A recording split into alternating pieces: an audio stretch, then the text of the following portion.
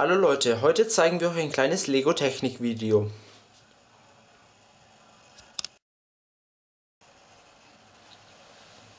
Wie ihr vielleicht schon gesehen habt, es ist ein Teil von einem Auto. Besser gesagt, es handelt sich um eine Lenkung mit Antrieb. Dies kann man ganz gut in einen Monster Truck einbauen, wenn man Allradantrieb haben will. Jetzt zeige ich euch noch, wie man die Lenkung baut.